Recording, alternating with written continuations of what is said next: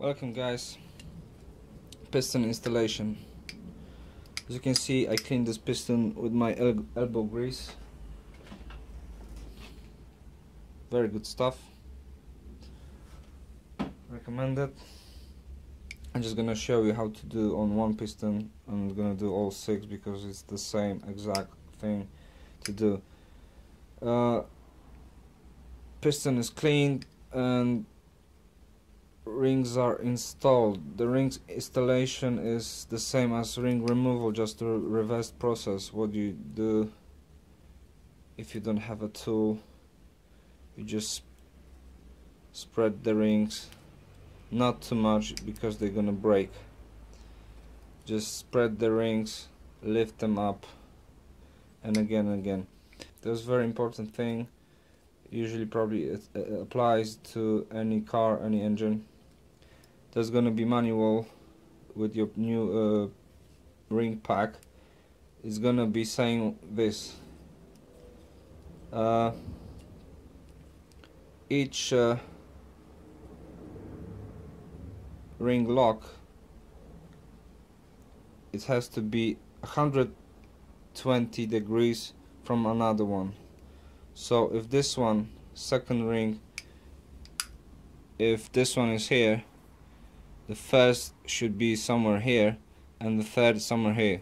So it's like Mercedes-Benz uh, badge. One two three corners. Around. It's not gonna you're not gonna achieve perfect uh, perfect 120 degrees but try to do that before you compress the ring. So I'm not now I'm gonna try to set 120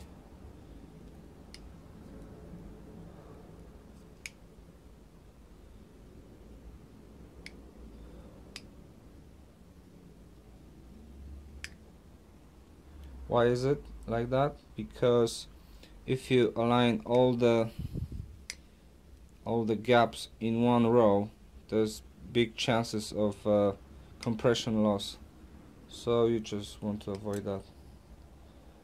So one is here one is there and the bottom is here. However this one is a four pieces uh, ring so you can do another another different angle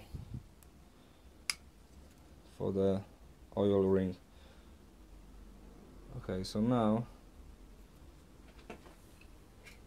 you need that tool which is a ring compressor. I'm looking for lubrication. Light oil same as for honing I can do same thing on the walls not too much.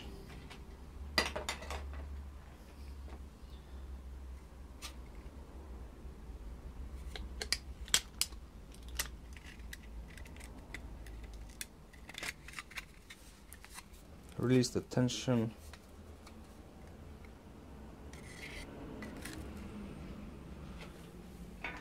Put it on top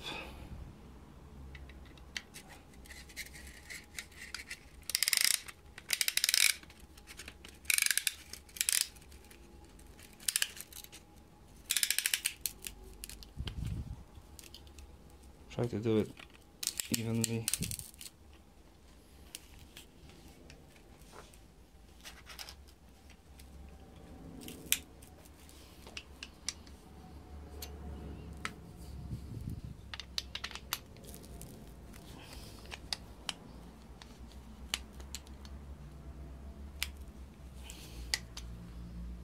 I think the ring should be compressed also remember about or orientation. It can't be this way or that way. You probably have your markings. And also remember in this engine same as M54 intake valves are bigger than the exhaust. So if you look at for a minute you're gonna see that that distance is smaller. So that means that these two valves are bigger and this distance is bigger. So these two valves are smaller so intake is here. Exhaust is, is there. So I know on the block that's the intake side uh, also uh, bearings same as the crankshaft they can't be mixed up. They have special the corners have a special groove and the notch. This is how you place them you can lubricate them. And of course this is not new bearing just a demonstration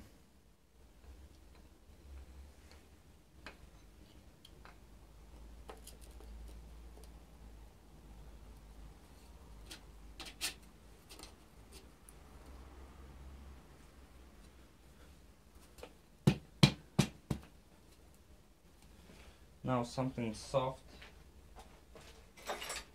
Like wood.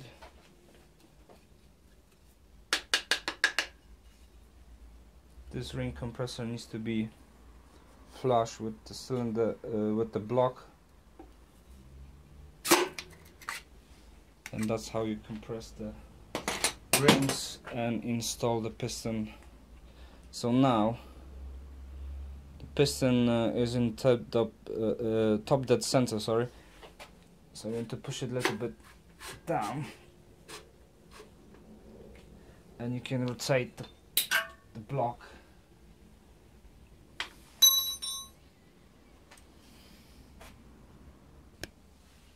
You can rotate the block and install the bearing cap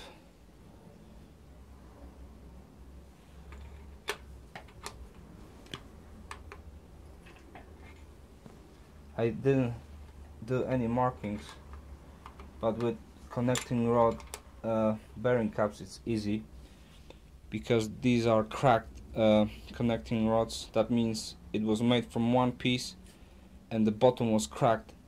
So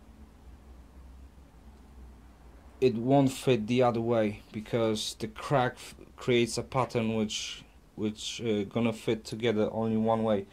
And another another thing I said that before you can use uh, these bolts twice. They have to be replaced each time same as the cylinder head bolts.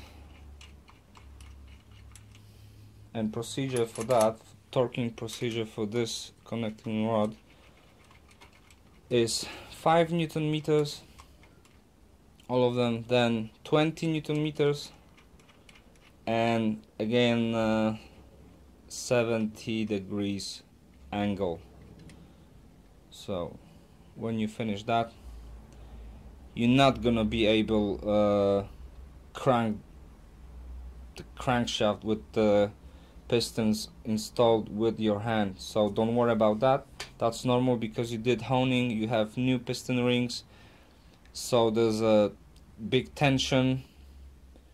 So each time you're gonna be installing uh, more pistons there's gonna be more resistance to, so don't worry about rotating uh, by hand from now on because you won't be able to. Don't worry about that. You you won't be able you will be able to rotate the crankshaft with the spanner or ratchet so yeah when you finish installing you can proceed uh, with further installation of as you can see I installed all the pistons. I didn't clean all of them. I did one because I'm not rebuilding this, this engine so I, I did just one to show you it's possible to clean them with with just uh, basic things like brush time and some uh, cleaning detergents like kitchen uh, uh liquid di dishwashing liquid and uh, plenty of uh, elbow grease. So as you can see the piston are giving resistance. So because the block was just honed so they're not rota rotating as free as you think as they should but that will progress. It will get better over time when the honing marks gonna start to be smoother and they're gonna disappear over time. So on the beginning when you assemble the engine when you're gonna run your engine you might feel that uh, your MPG is not still not great because of that because there there's a resistance on the on the piston and uh, on the cylinder walls. So thanks for watching and next video I'm just gonna install the head and not gonna be using gasket because I, like I said not rebuilding this engine. I, what I'm gonna do I'm gonna install the head to show you how to do timing on this engine. So thanks for watching